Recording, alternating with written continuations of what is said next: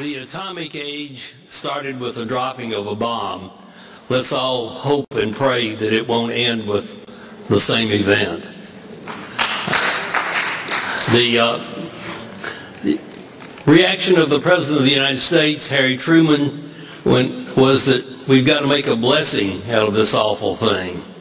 And that began America's uh, greatest public guilt trip uh, which has continued on through the decades. I think if you were not alive at that time, as I was, you would not fully appreciate the enormity of the genuineness of the guilt trip. I mean, uh, rather than debating whether we should or shouldn't have dropped the bomb, uh, no one uh, wanted to talk about that at the time. Uh, but we were deluged uh, with the most uh, vivid descriptions of how this awesome power, uh, this almost godlike power, would be turned uh, to the use of the benefit of mankind. And we found out that the tsunami and earthquake happened. Immediately we knew that we were going to uh, reroute the ship to Japan to provide aid and um, you know give them food, water. Um, so we did that immediately. We probably got to the coast of Japan then probably the day after it happened. Um, we never heard anything about a nuclear power plant. We never knew anything about the possibility, let alone any kind of leak. Um, so we were there outside. Our job as quartermasters um, is not only navigating the ship, driving, plotting our course and track, but going outside at the top of the ship to raise flags um, to communicate with other ships. Um, so being outside, we were breathing in this radiation. We were handling flags, which are porous, very porous material, obviously. Um, we didn't really hear anything for probably a couple weeks after about um, a leak in the uh, power plants. Um, and even then, it was just still considered kind of a rumor. We the ship didn't really even go on lockdown, which I mean by that, like no one was allowed outside, um, probably until about a month and a half after um, the initial, the, the, 11th, March 11th. So um, about halfway through, probably around the summertime, my menstrual cycle just disappeared completely. And then it would come back and disappear and go on and off. And this happened until about the summer of 2012, where it came back in such full force that um, I was in and out of the emergency room. Um, once they thought they were going to have to do a blood transfusion on me because I had lost so much. Um, this is called dysfunctional uterine bleeding, and um, we can give you an IUD with hormones in it. And so now that's what I have. Um, it hasn't really stopped it. I still have this issue. In addition to that, in February 2012, I developed bronchitis um, and then from February to summer of 2012, I got it six times. I was sent to a respiratory doctor and it was determined that I developed asthma. So a lot of people um, don't understand that once you get out of the Navy, you don't get any health care at all. Um, if you retire and you stay in 20 years, you get health care. But we only did one enlistment. I did five years, he did four, so we don't, we don't get that unless it's a disability a service-related disability, which dysfunctional uterine bleeding does not really count as a disability as of yet. So we're still fighting that case. And this is also what we're involved in a lawsuit against TEPCO um, for, for medical expenses that we're now having to, we're going to have to pay out of pocket for. The Fukushima Daiichi accident was made in America. The um, reactor was designed by General Electric and uh, built by a company called Ebasco. Uh, I, I, used to go to the Ebasco offices right here in Manhattan when I was an engineer on, uh, on Millstone Unit 1, which was almost identical to uh, Fukushima Daiichi Unit 1. Uh, it was licensed by the uh, Atomic Energy Commission, which at the time, in 1960s, um, was the uh, ultimate authority on nuclear licensing in the world. At, at least we thought that to be the case. Now, the NRC assumes that containments leak at 1% a day. So in a, in a, building this, in a room this size, what we're saying is that the, the gases that are released um, would, um, would be about 1%, meaning over 100 days, the gases in this room would leave and fresh gases would come in behind it. But what the NRC said in a phone call um, on, um, uh, on March 23rd is that the reactors at Daiichi were leaking at 300% per day. That means that the gases inside Daiichi were leaving the containment every eight hours. Whatever radiation was getting out of that nuclear fuel was being liberated to the environment within eight hours because the containment leak rate was 300% per day, not 1% like the NRC assumes. Less than two grams of cesium-137, a piece smaller than an American dime, if made into microparticles and evenly distributed over as a radioactive gas over an area of one square mile, will turn that square mile into an uninhabitable radioactive exclusion zone. Central Park in New York City can be made uninhabitable by two grams of microparticles of cesium-137. Hard to believe, isn't it? Remember, these nuclear poisons are lethal at the atomic level. I included an extra slide just to note the immense inventories of cesium-137, 150 million curies. They're located in the nearby spent fuel pool at Indian Point Nuclear Power Plant, which is about 40 miles from here by road, and less than that as the radioactive cloud flies. Many of the 104 U.S. Nucle- uh, commercial nuclear reactors and power plants have more than 100 million curies of cesium-137 in their spent fuel pools. This is many times more than the spent pools at Fukushima. So now that we have some idea of the extreme toxicity of cesium-137, let's look at the extent of the contamination of the Japanese mainland. If Japanese children are allowed to routinely ingest foodstuffs contaminated with cesium-137, they will likely develop the same health problems that we see now in the children and teenagers of Belarus and Ukraine. Thus, it's very important that we recognize the danger posed to children by the routine ingestion of contaminated food with cesium-137, wherever they might live. But look across the bottom. That's the lifespan, 0 to 80. We hope longer, but this graph ends at 80. And look at the vertical. That's increased cancer risk by exposure to a given amount of radiation. And I want to just say that I think that this is a little bit of a fictional story here, but it's a very important pink line and blue line. What is the blue line? The blue line is boys turning to men, turning to old men. What is the pink line? The pink line is little girls turning to women, turning to old women. And if you look at that left-hand part, that is zero to five years lumped together graphically by Ian, but it's actually a, a five-year group. And it includes pre, pre-birth. And what do we see? We see a striking difference between the blue line and the pink line. He added the little green circle that's on the 30-year-old male blue line because that is what our regulators assume to be the individual who's getting any dose of radiation that we're talking about yesterday and today. All of the radiation we've been talking about assumes that is the individual getting that dose. Whereas this graph really unfolds the entire life cycle of our species if you want to take these numbers. And these numbers are suspect. But how suspect are they? Are we going to flush a 100% difference between 0 and 5, between the blue line and the pink line? Are we going to ignore it completely? And even at the point of the uh, green circle, this graph is a little bit off, I think, because there's a 50%, 40 to 60% difference between adult males and adult females. These are environmentally induced microcephalies. It's not that the gene came in and said, don't make the brain. No, the genes were fine, but radiation said die and reduce your size. Multiple things that disrupt the development and multiple things that disrupt the repair of the damage because we have regenerative capabilities. So you have this balance, and if it is unbalanced, then the morphogenesis of the embryo becomes altered. So I did not talk about conjoined twins, but that's what we see. I did not talk about teratomas, that is what we see.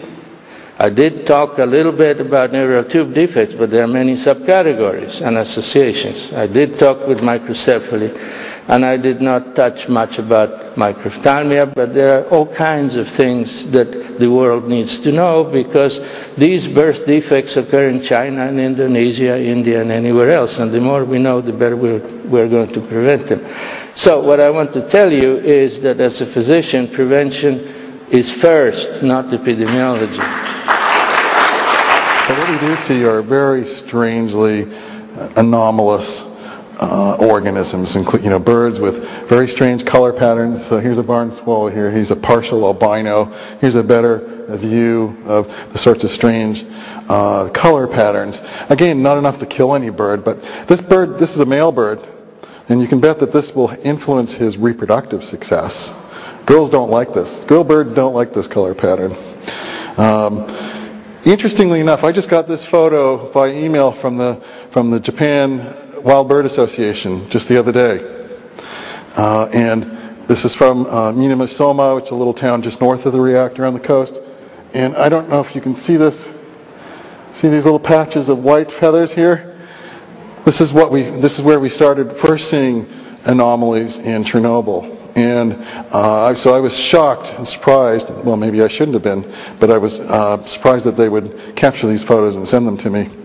Uh, so, so we're starting to see some, some consequences potentially. We need to go back and verify that this is real. But we see all sorts of strange abnormalities, tumors on the beaks, uh, strange growths on the beaks, strange missing patches of skin. And let me just skip ahead a little bit. Tumors around the eye are really quite common. Um, here's a tumor over on side of the head. Uh, patches of white feathers where there shouldn't be white feathers. Strange growths on their feet. Tumors on their wings. There's a close-up. Uh, strange growths around their, their rear ends. Just never been seen anywhere else in any great abundance and they're much more common in areas of high contamination. Their brains are smaller. The uh, neurological is clearly impacted as a consequence of the, the contamination in direct proportion. And not only that, if they have smaller brains, they, they clearly have reduced cognitive function because they're much less likely to survive to the next year with these smaller brains. So why has it been so easy apparently easy. It's not been easy in the sense I've had to eat a lot of Russian food. Uh, but uh, why has it been so easy for us to go in and document one response after the next that just they just they slap you in the face. They're so easy to find. It really hasn't taken uh, you know a genius to make these observations. Uh, they're they're there, and the answer is of course that nobody has looked. Or, or if they've looked, they haven't follow, followed through to compile the data and to analyze it properly and then to finally you know, publish it. Why is that? Why haven't they done this? Vladimir, why haven't they done this? Yes, sir. That's exact. I, uh, that's that's what I'm thinking. They don't want to know the answer to these questions, and and and so how are they avoiding finding the answers? They they just don't pay for research in this area. Um, it is up to us in the more objective uh, areas of, of, of the research community to stand up to this. We need to, first of all, conduct studies immediately, as soon as we can. We need to use whatever data we have, even though it's going to take decades and decades to really find out what the full uh, meaning of, of, of Fukushima was, we have, to, we have to start now. And most importantly, we have to get this information out into the public so that they understand we're not dealing with a small leak here, we're dealing with a, an extremely serious situation. Uh, we picked the topic newborn hypothyroidism. And for those that don't of you who don't know, hypothyroidism is a condition where the um, level of thyroid hormone is very low and the gland is underactive. When this occurs in uh, newborns, it um, can do great harm to any physical and mental development. We have to get this information out into the public so that they understand we're not dealing with a small leak here, we're dealing with a, an extremely serious situation. We know hypothyroidism is something that's sensitive to radiation, to, to iodine. We've seen it before and we've documented it in our paper. Uh, experiments on rats years ago. Um, people in the South Pacific exposed to atomic bomb fallouts. Um, people uh, living downwind from Three Mile Island and people uh, from and after the Chernobyl accident all showed in increased uh, levels, uh, rates of hypothyroidism. And we also know that the fetus and the newborn are far, far more sensitive than adults to a particular dose of radiation. I had to call up all 50 states, uh, newborn screening programs. I yearn for the day when this country has three states instead of 50. Um, 41 states responded. Um, we, we found that the five states on the west coast and the Pacific, California, Oregon, Washington, Alaska, and Hawaii, tended to have the highest levels of not just gross beta that we found, but other uh, researchers have found high levels in kelp and in soil and, and, and air as well. So we compared the changes, the 20 to 10, 2011 changes uh, in the cases of newborn hypothyroidism for these five states versus the rest of the country, the other 36 states for which we had data. Um, we found the following. We found that in the first 15 weeks after the fallout from Japan arrived in the United States, the number of newborn thyroid, hypothyroid cases increased 28% on the West Coast, and for the rest of the year, the last nine months, increased 16.5%. Uh, this is compared to the rest of the country in which we saw a 3% decline. Uh, the Differences are statistically significant, although we do point out in the article that these aren't a huge number of cases. I am proud to be here and express my vision, my understanding the Chernobyl situation. 24 years ago, it was Mikhail Gorbachev who asked me to chair the, the Committee of Ecology of Soviet Parliament. I was Soviet parliamentarian.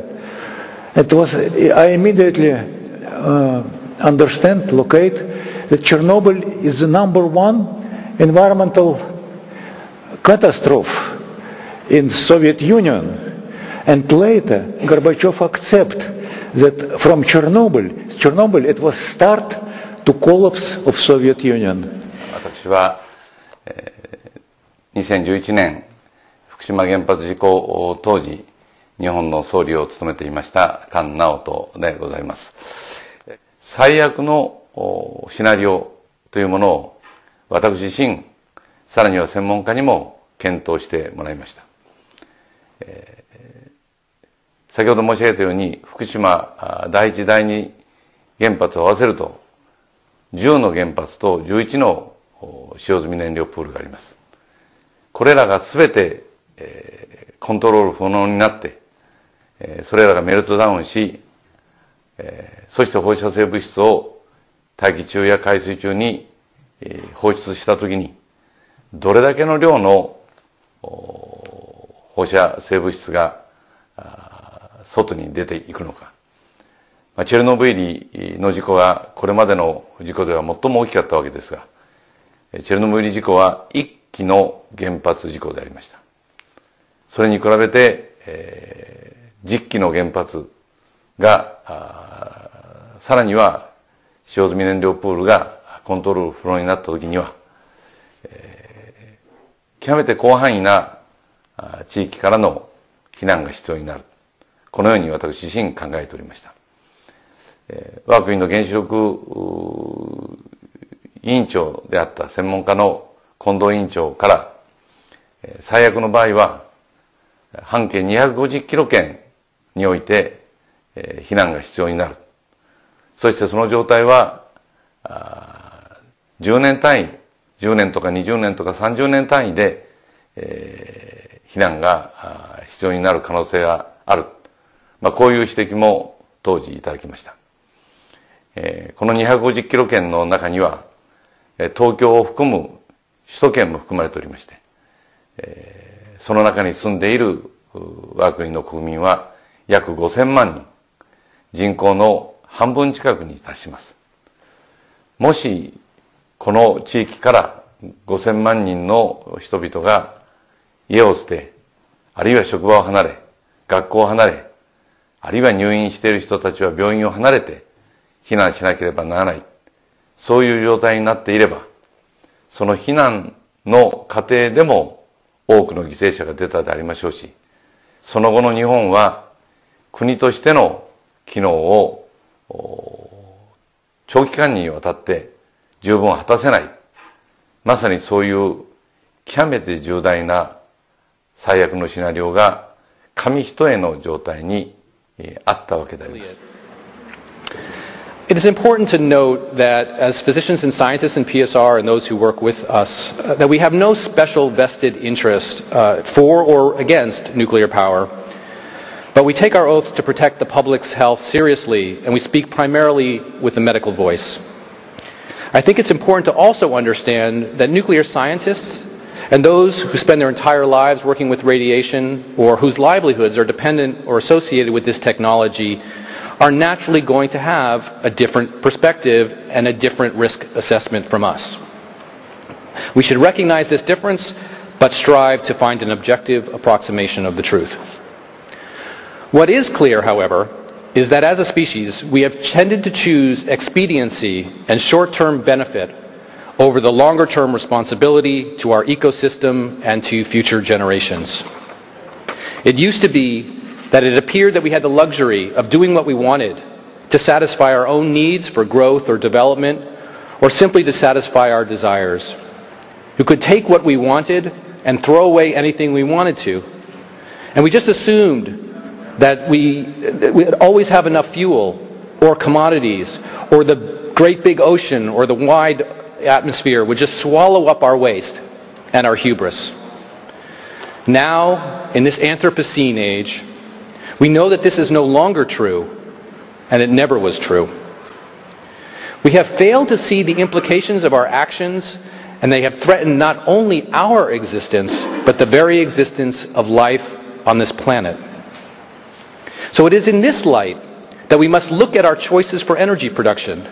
We must weigh carefully the risks and benefits, and we must seek to include all of the externalities for nuclear power, this includes the medical and public health consequences of the entire fuel cycle, from the mining and enriching of the nuclear fuel, its transport, operations in the nuclear reactors, their inevitable accidents and releases, and then the reprocessing, waste disposal, and the proliferation of fissile materials and production of nuclear weapons. It is no longer acceptable to continue with the status quo. We must shake loose the shackles of the old ways that have bound us to a course that will lead to our inevitable destruction and do as Einstein demanded, adopt a new way of thinking if we are to survive. That I was so annoyed and frustrated with the arrogance and ignorance of the media about radiation biology after Fukushima, especially with one George Monbiot at The Guardian, who knew nothing about internal emitters or anything, and they, and they kept saying people haven't dropped dead, and they're still saying that. That I thought it was appropriate to sort of set up a medical conference for two days, like medical school, to teach them the basic elements of radiation biology. And that's why I put this symposium together to educate the media. Unfortunately, there were representatives here, but we could have had a lot more, so they're not really quite turned on to it yet. And I suppose I have to say that uh, the American media really worries about Americans, like a little girl trapped down a well or that sort of thing. Um, and it was interesting to note that when the sailors came along, that very was very pertinent because they're Americans. And I don't think people can extrapolate too much in this country to Japanese. Number one. And number two, when Chernobyl happened, I can remember being on a telephone in the Texas airport talking to an ABC radio commentator um, who said, well, they're just Russians. And I was absolutely flabbergasted. I said, I'm a physician and every human life is precious. So that attitude of insularity uh, prevails and it's prevailed today. So the only way to turn this country upside down, as Jefferson said, an informed democracy will behave in a responsible fashion. Now you see these kids on their cell phones tweeting and twittering and walking along, emailing each other and stuff. They're not reading papers. They're not, not watching the news. They do not understand the nuclear age which they are inheriting. They are inheriting massive quantities of radioactive waste which will leak in the future, get into the food supply and over time induce epidemics of cancer, leukemia and genetic disease, congenital malformations forevermore. You can imagine our descendants waking up in the morning. The food already radioactive, the breast milk radioactive, the babies being born deformed because they're exposed to radiation in utero, which we heard from Dr. Wertelecki, um, and getting cancer at the age of six because they're ex exposed very early or in utero. That's the heritage we leave to our descendants. And we can talk till the cows come home about nuclear accidents, which are severe. But the most important issue is this radioactive waste piling up all over the world and no one knows where to put it and we don't know where to put it and we never will. And I've been debating with the nuclear industry for 42 years and they say, don't worry, we're good scientists, we'll find the answer to radioactive waste. They haven't attended to it. I mean, they're like surgeons, you know. We don't clean up after us, we just let the nurses clean up. We're not interested in the waste we create. We're arrogant. Well, so are they. They're interested in building bombs and designing nuclear power. It's all very exciting. So I, I say to them, well, that's like me saying to a patient, I'm sorry, but you have pancreatic cancer. That's what the CT scan shows. And your prognosis is probably six months, but don't worry, I'm a very good doctor. In 20 years' time, I'll find the cure.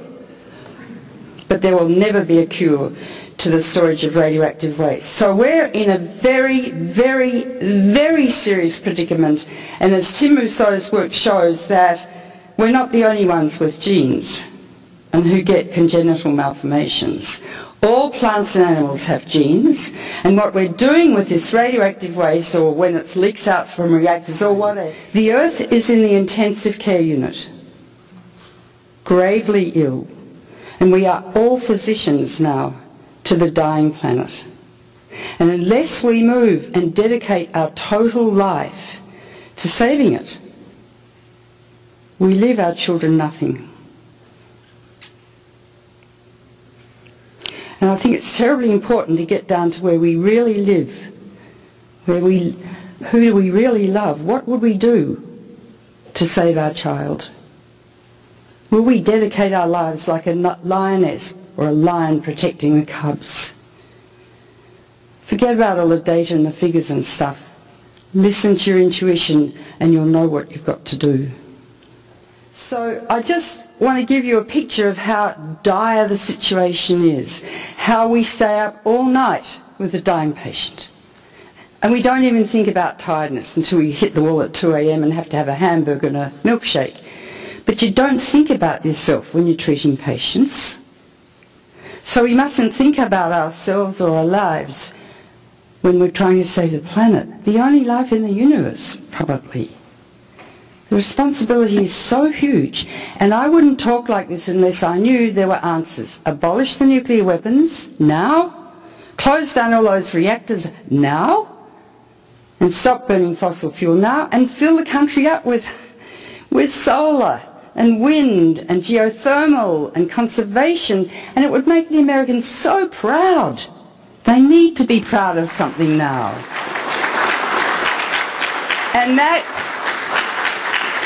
that revolution has to come from you. Huh? Because I'm 75, I'll probably be dead soon. Okay.